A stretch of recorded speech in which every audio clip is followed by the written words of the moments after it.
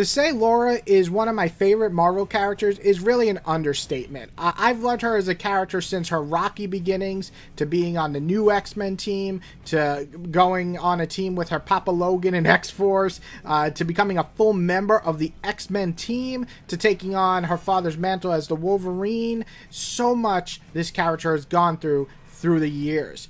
Now, I want to get this out of the way before we get some haters in here. I like Logan. I think he's a cool dude. Uh, going from the gruff and grumpy to the protector of children and wanting to protect his family and be there for others. I think he had a great character development throughout the 30 plus years he's been around.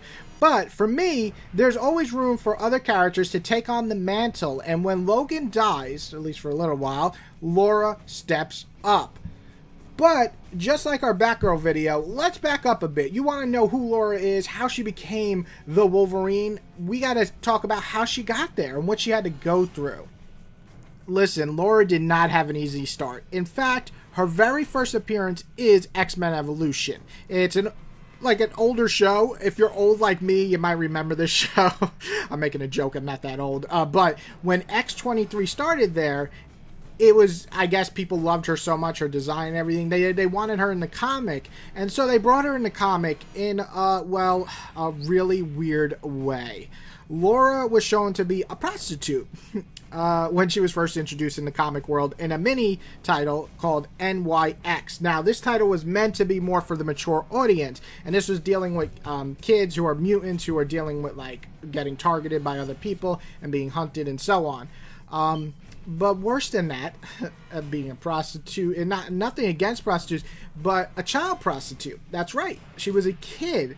Uh, that's the problem I think most people have. Not the fact that she was a sex worker, um, but the fact that she was a child as a sex worker, meaning she was forced into it. Um, it is it is pretty weird. It's icky, is really the way to talk about it because it just the way she started is not the best way. She already goes through a lot of trauma, which I'll get to, but uh, this was just not the best way to start a character. Luckily, it didn't last too long, and we get out of that plot line and we give a proper origin to X23. Now, this is what made X23 such an interesting character to start with. Her origin story, uh, dealing with being created as a weapon, similar to Logan. Now, relying on her own wit and bravery while also learning to just kind of be a normal person again, or ever, without needing to kill, is both fascinating and heartbreaking. You're finally uh, learning more about her, and then she starts going on her own adventures, and you know, you kind of meet more, or you get more of like Gambit being kind of like a big brother to her, and Logan being more like a father to her. So that was great, but she goes through a lot of crap in between all this. First off, she finally joins the new X Men team, which is basically like the young New Mutants becoming an X Men team. But of course, when she joins, this is the after events of House of M. If you don't know what House of M is, which would be surprising at this point. Scarlet Witch basically goes no more mutants, and I think like 95 or 98% of mutants either lose their power or die, um, depending on what their powers are. Now, after the events of House of M, Laura joins the school for mutants, and there's a brutal strike on the kids at school, and uh, Laura is tossed back into the vicious cycle of horror and death. She gets through it all, learning to actually make some new friends through being on this team, and it's one of the greatest runs, too, for her character, but not without losing some in the process. So you'd think, oh, well, that's hard, man, but maybe after this she'll get a happy life. No.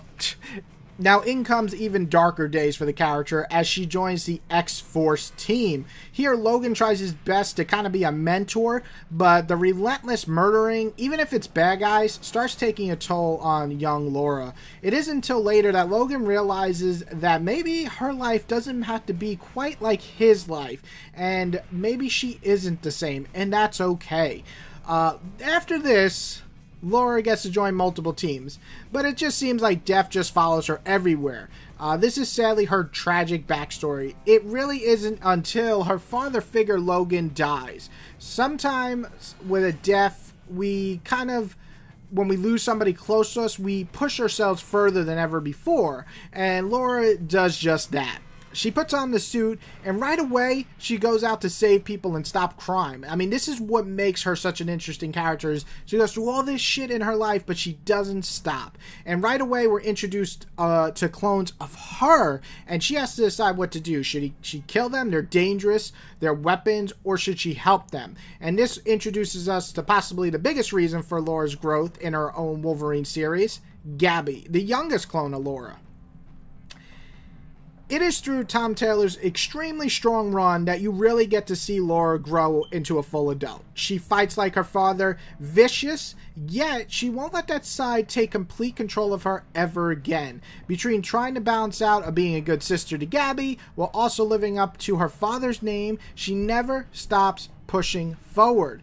One extremely important moment is facing her past, and in a moment where she almost loses again, she she's just about to kill this person. She screams i'm not x23 i'm not your experiment. I'm not your fucking property. You are the last person who will ever think they can own me. No one owns me. I'm not a thing. I'm laura and i'm the daughter of sarah. I'm the daughter of logan and i'm wolverine. And when i say that this moment actually brought tears to my eyes after all the shit this girl has gone through it's just a line where she crosses over to be a real major hero in my mind. Now, why is she the perfect Wolverine in my opinion? Well, the Wolverine might be known to kind of be the best at what he does and what he does isn't nice, but for me, really, Wolverine, when you really get down to it, is the ultimate protector. They fight they use their own skin and bones, if they have to, to be torn up and ripped apart and blown apart, destroyed to protect the ones that he loved when he was Wolverine. And guess what? Laura does the same thing in her own way, living up to the mantle without a doubt. She is the Wolverine. She does exactly what Logan would do, just her own way. And that's what makes her different and also a Wolverine. And like she says, She's not X23. She's not an experiment. She's Wolverine, and anyone who disagrees, well, just get the fuck over it. If you like what you saw here and want to order Wolverine Omnibus starring Laura and all her glory by Tom Taylor, head over to organicpricedbooks.com. We're talking 700 pages for a discounted price of $65 when the retail price is $100.